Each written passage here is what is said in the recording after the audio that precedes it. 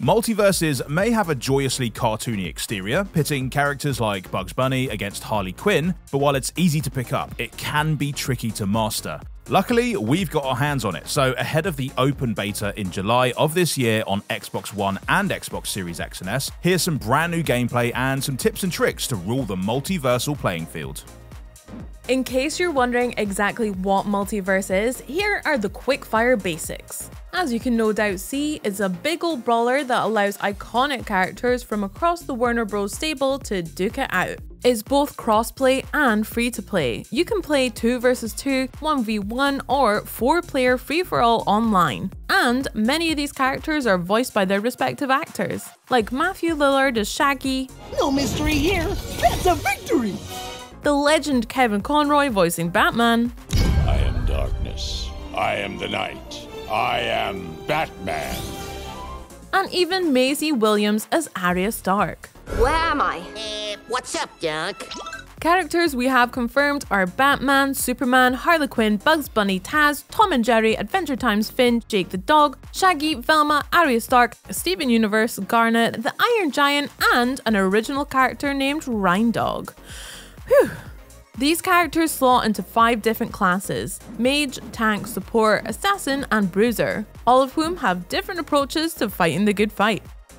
Traversal and darting around the battlefield is extremely important in MultiVersus, mainly because it dictates if you lose or not. Should you fall off of one of the platforms or get blasted off into the sides, you lose, and the likelihood of that happening can be seen here. The higher those numbers are, the more susceptible you are to being thwacked into oblivion by, for instance, a giant mallet, and unable to recover from your fall. Some attacks can also help with moving yourself and others around the map too. Wonder Woman's lasso whips allies and enemies alike to her, for instance. Arya Stark is also able to throw her dagger and then teleport to it too. But don't worry, we'll get to specific attacks and how to use them later on in the video.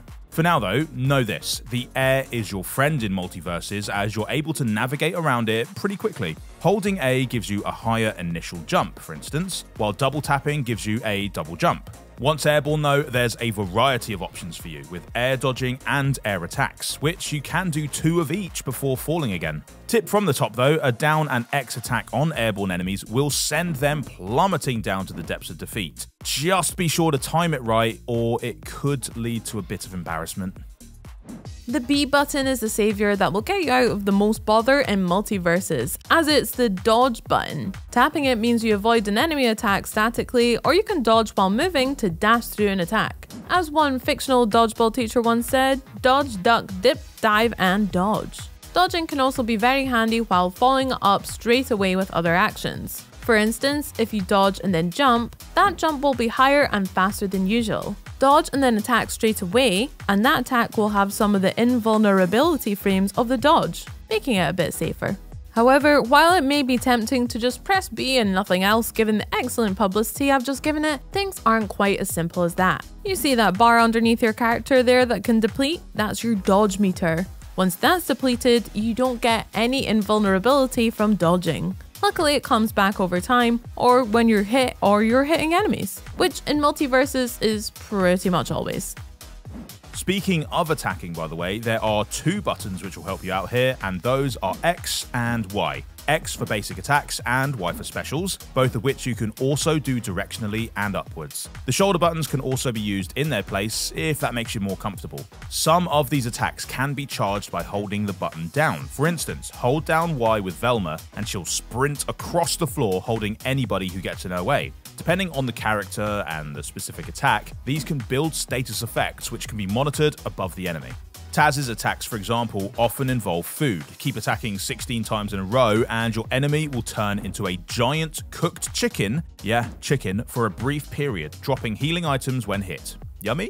Arya Stark's Y attack is also pretty unique and useful as it allows her to steal her enemy's face, allowing her to turn into them and use their own attacks against them.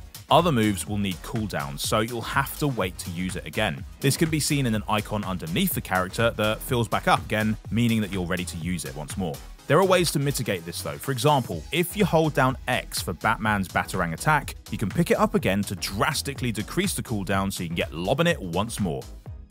But one thing you absolutely need to do in MultiVersus is to change it up and do various different attacks. This is for a variety of reasons. It's just more fun for one, and second, it keeps the enemy guessing. But should you do the same attack in a row again and again and again, four times in a row specifically, you'll experience attack decay. This means that your continued use of that attack will have nowhere near as much stunning effect as it once did, rendering it essentially a bit of a waste of time. Several characters like Wonder Woman are also blessed with attacks that grant armor, meaning they're essentially uninterruptible. You'll be able to tell this attack has armor due to this glow effect. Remember though, I just said essentially uninterruptible, because there is a way to break them down. Certain attacks have a purple hue around them, which means they can smash the armor away. These particular moves vary from character to character though, so experiment to find out which move you should have on standby just in case.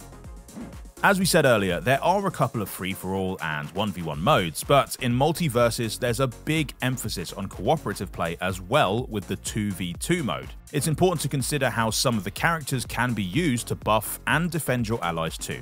For instance, Wonder Woman's down Y attack is actually a shield over her and a nearby ally. Arya Stark drops a pie when she successfully knocks someone off the arena that can be used to heal the team. Scooby-Doo's Velma is so far billed as one of the two support class characters, and that's for good reason, as she plays differently to almost every other character. Velma's Y move provides a motivational speech to heal allies, but her moves relate to different areas of, well, being smart, you know, using chemicals and calculus. These make characters drop clues, which then result in her being able to do a special down Y move to call the police and get an enemy carted away, stunning them. She is a very specialist character, but use her in the right way alongside a tank like Superman, and they can wreck shop together.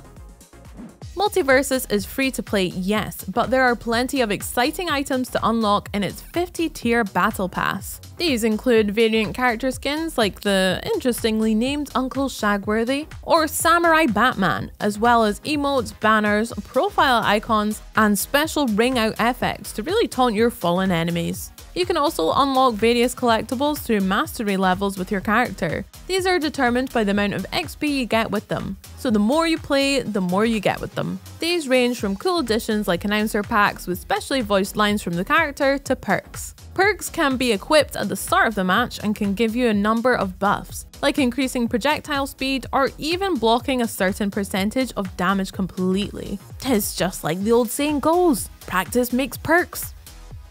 Okay, quite a lot to get through, but there you have it a gameplay preview of MultiVersus, along with some of the finest tips and tricks to help you bag those wins when it has the open beta on Xbox One and Xbox Series X and S in July. Which character are you going to main? Let us know in the comments below. Don't forget to subscribe and ring the bell for more updates on the latest Xbox games from Xbox On. Bye for now.